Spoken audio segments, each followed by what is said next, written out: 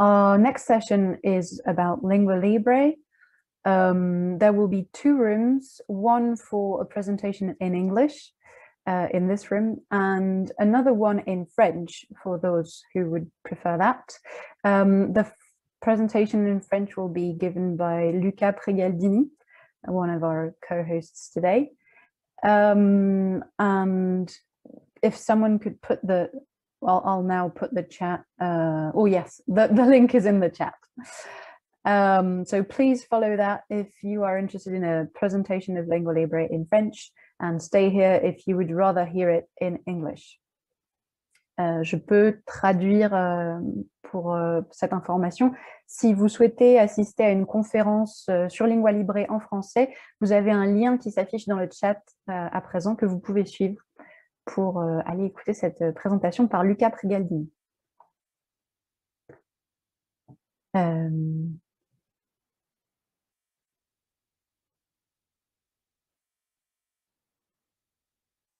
I will now start the presentation on Lingua Libre. Um, as I said at the beginning of this session, um, my name is Adelaide Calais. I am the Francophonie and Diversity Project Manager at Wikimedia France. Um, Wikimedia France is a non-profit organization for uh, open knowledge across Wikipedia and its sister projects. And we have developed um, Lingua Libre as a tool to help minority languages um, get spread out on, on, on Wikimedia projects. Allow me to share my screen, please. Um, there we go. Adelaide? Yes. I just wanted to, to say to everyone that uh, currently you have a question and answering uh, button that is probably uh, on the bottom of your screen. So if you have any question, please feel free to use this feature or you can leave question in the chat uh, during the presentation so that we can answer question at the end of the presentations.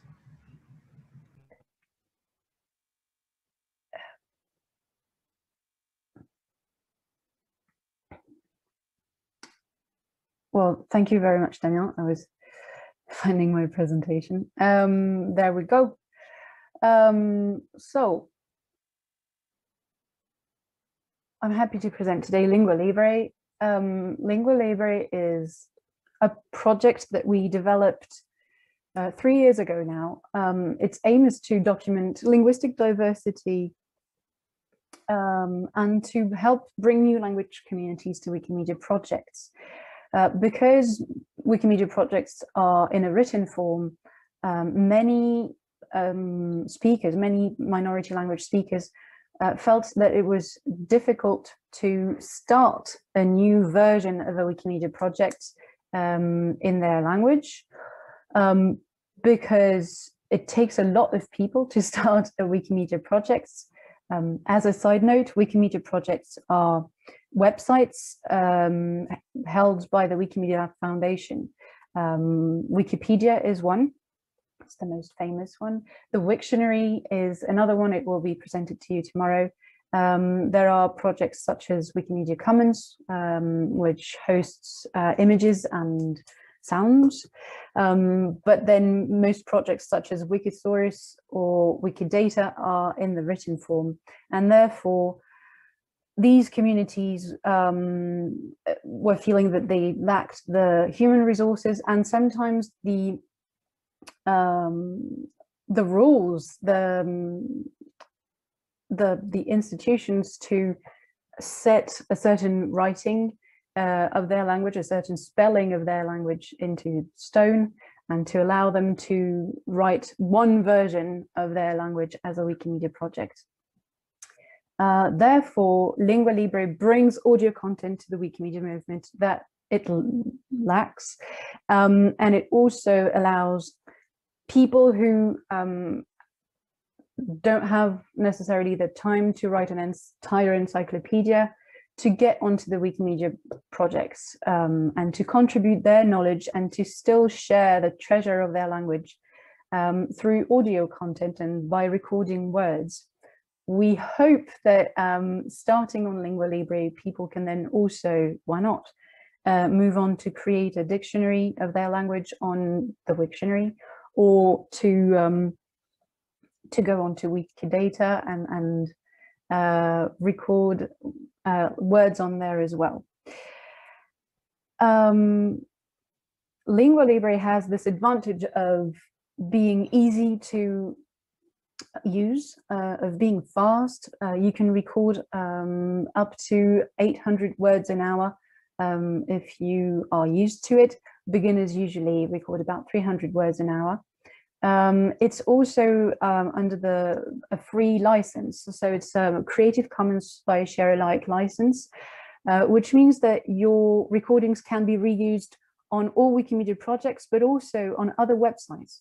So for example, if you would like to um, put your recordings forward um, in another project that you have and on web another website, that's completely doable.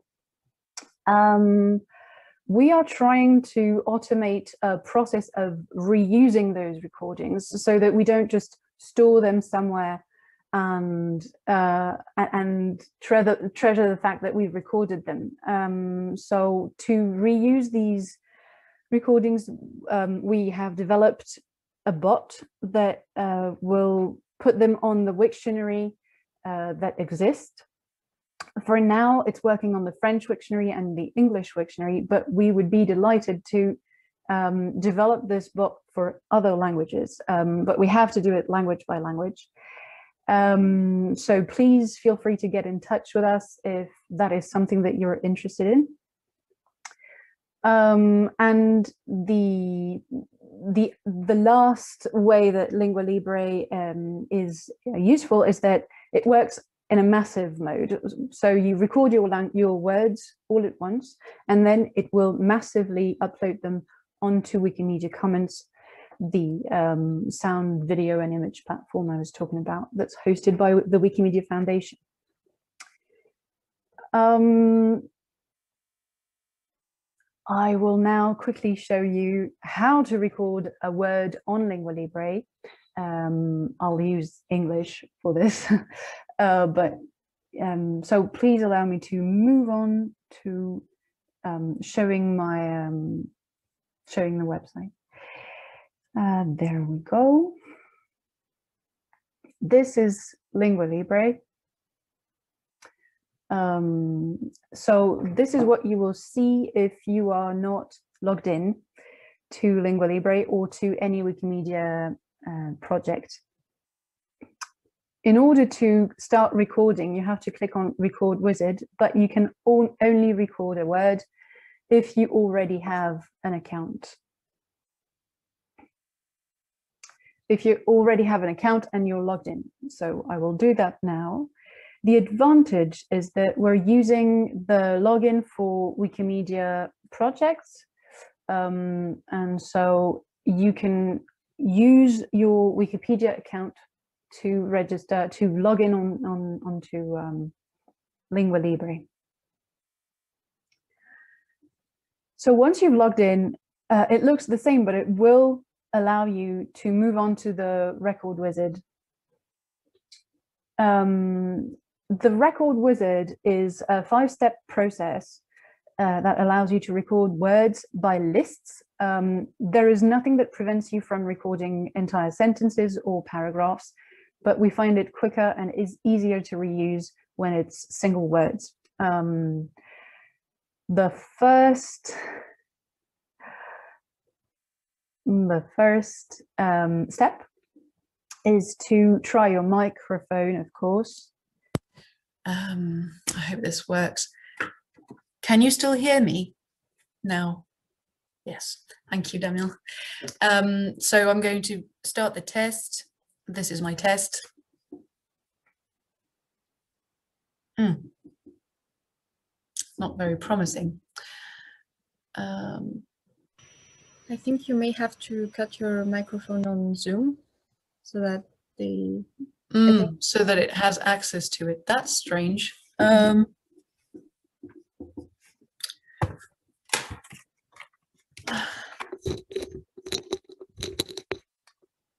I'll try again.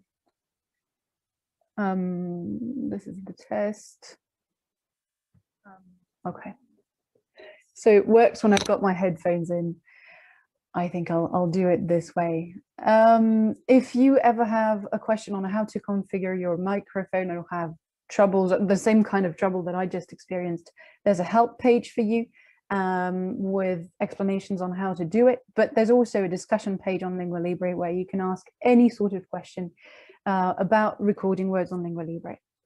So feel free to go and chat with other contributors uh, on the discussion page. The next step, um, once you've set up your mic, is to um, make your profile. Uh, so you have your name, your gender, which is interesting, um, which, could, which could be interesting for people who are looking at how people pronounce things. Um, it's, it's always interesting data.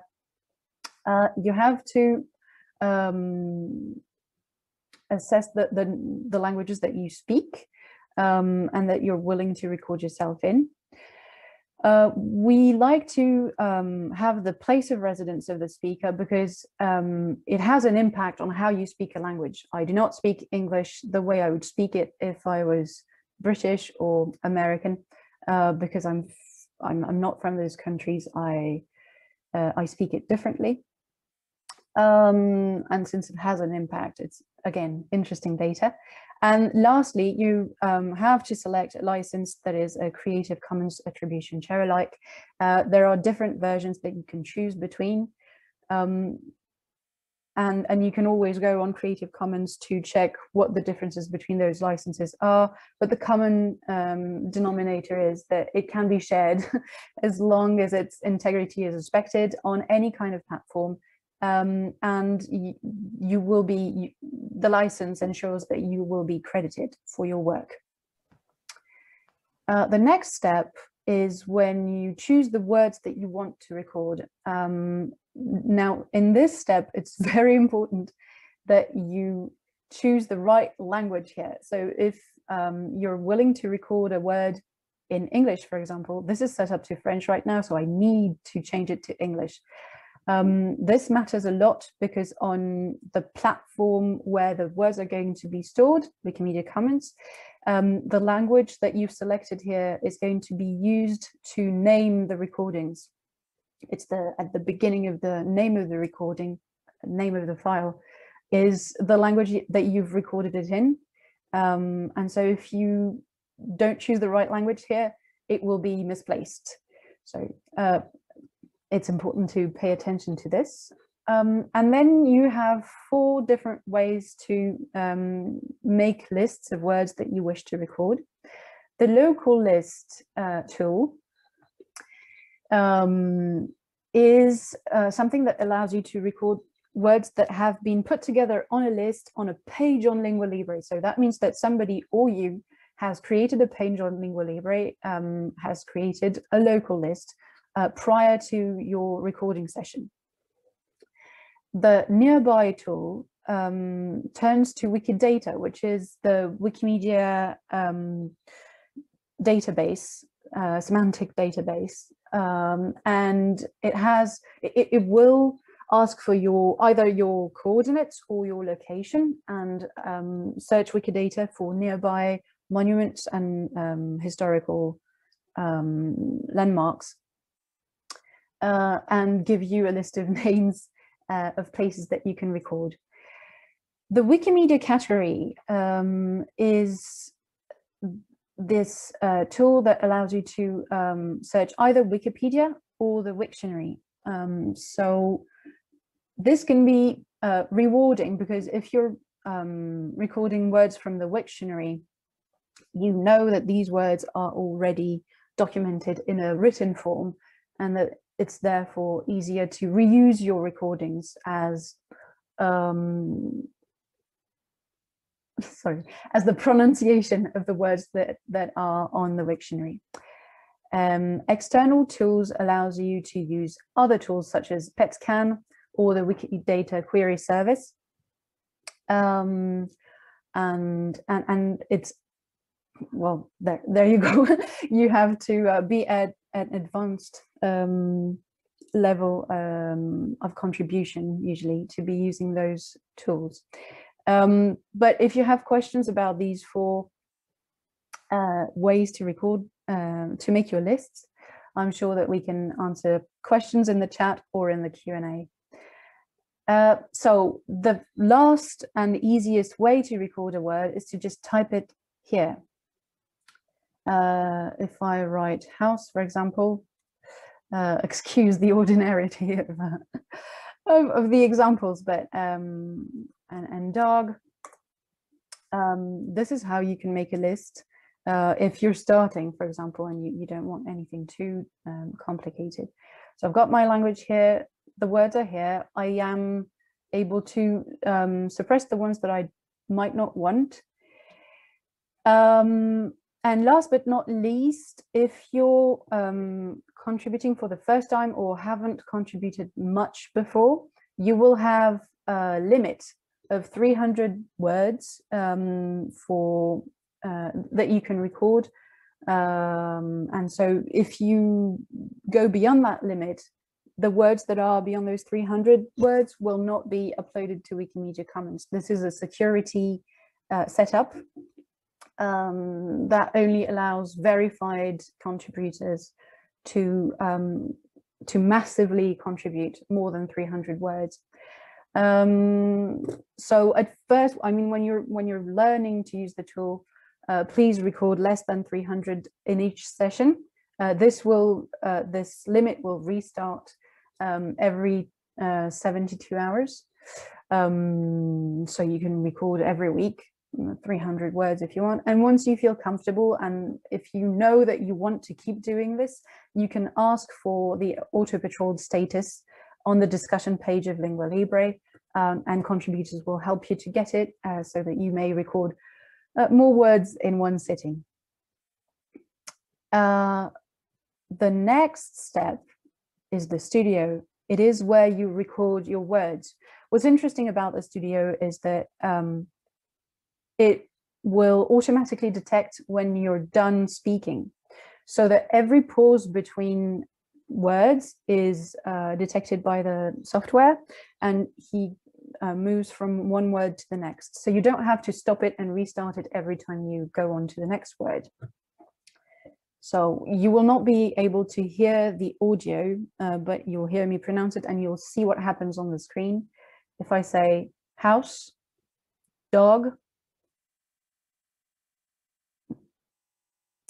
Uh, so it automatically moved on to dog when I stopped speaking, uh, which allows you to be quicker. Uh, you can then check um, your files uh, directly here by clicking on the little arrow. Uh, and if you detect an error, you can just click on this um, start again sign to record it again. So I, I clicked on it right now and it's allowing me to record it again. Dog. There you go. Um, if in your list there's a word that you wish to skip, uh, you have this button here uh, that allows you to do that. Um, and then uh, once you're done, you just go to the next step and click on publish. House. This is the step where you check your recordings. Um, at the moment and at any time, um, I would say that it's very important to check your recordings. Um, there can be uh, sometimes uh, problems between the detection of you moving on to a next word and the software. Um, but there also can be moments when uh, there was a noise in your background and it picked up uh, the noise or uh, it, there can be clicks uh, occasionally uh, in your recordings. That's not to do necessarily with you, but it, it can be linked to your setup. So please check, check your recordings, especially if you know that you're speaking in a minority language and that not many people would be able to tell if the recording is right or not because they don't speak your language. Um, this is one of our great challenges for the years to come. Um, so once you've checked all your recordings, um, if there are mistakes, you can go back by clicking on previous to record them again, or you can just move on if you're happy with the result. uh, and publish them on Wikimedia Commons. Um, this will work uh, for a few minutes according to the number of words that you've recorded. Um, and this happens sometimes. What just happened is I've got two recordings and one of them, I am told here, uh, did not upload successfully onto Wikimedia Commons. The only thing I have to do is click on retry a failed upload um, and it will do that for me. And usually on the second try, it's good. Um, and then once you're on two out of two or 300 out of 300, you have two options. Um, you can go and check your uploads on Wikimedia Commons, or you can go back to the beginning and record more words. Um, for now, we're going to go check uh, Wikimedia Commons so you can see what it looks like once the words are recorded. Um, so this is the Wikimedia Commons platform. Uh, and you you will have a list of your recordings here uh, that you can listen to by clicking on the arrow. Uh, if you go here, you have, this is the page of your recording, and you can use this title to link it anywhere or this URL to put it on any kind of website. That's it for how to record uh, words on Lingua Libre. Uh, if you have any questions, I'd be happy to answer them now. We have four minutes left for questions. Adelaide, we have a few questions in the Q&R feature. So there is the first one. I, I, I don't know. I, I think you can access them. So there is the first one that is uh, marked as solved, uh, which is from Wasim Swahili. Why we are limited to record single words rather than whole sentences. So just let me know if any of you want to um, want to speak. I can allow you to speak. And we don't have much time to answer questions, so I'll let uh, Adelaide uh, manage this.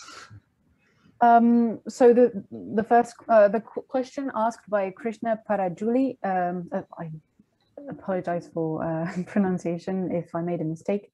Um, the question is um, if I like to record a, a native speaker, so somebody else. Um, I on the side, um, Damien, could you um, type a quick answer, a word or a letter to every question because it only shows to the attendees the questions if they're answered so they can see the questions. Thank you. Uh, so if, if you wish to record someone else, um, there is something on your profile that allows you to. Um, so if I go back to the record wizard, um, so this is your first step. You've checked your mic, you're on your own account. Um, and you can see here that I have other speakers um, re, um, recorded on my, on my profile. Uh, so that means that you can have, you can even create a profile that has the name of your project, for example, um, where you will um, have a certain, I don't know, a profile for a group of people, and you can then allow them. Yes. Excuse me, we don't see your screens. Oh, sorry, I forgot. Um,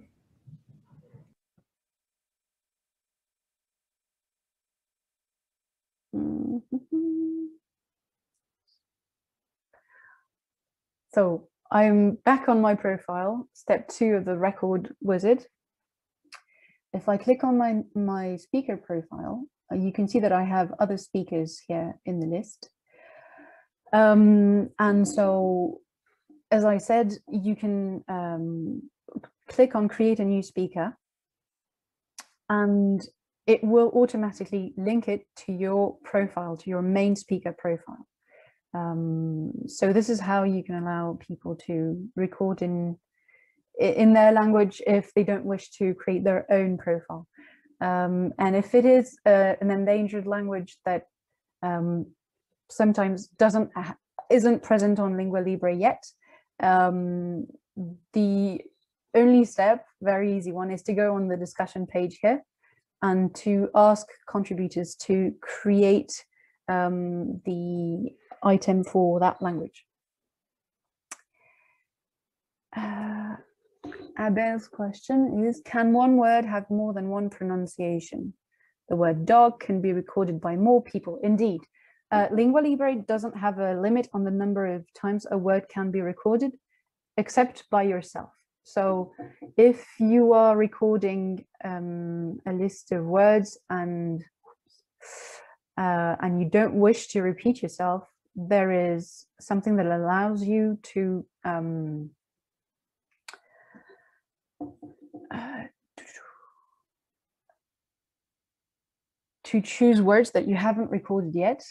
Uh, and it's this thing here, remove words already recorded, but this is the words already recorded by you. Um, we can record words uh, any type, uh, any number of times um, by different speakers because we're interested in um, different pronunciations. Uh, uh, yes, I will show quickly the help and community pages.